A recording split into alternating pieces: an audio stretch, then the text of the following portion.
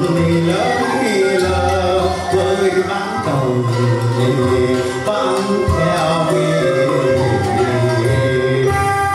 người đời ca tới muôn nơi thái bình quê lúa là nôi hát chèo cháu lớp đất noi theo dễ dìm truyền thống hát chèo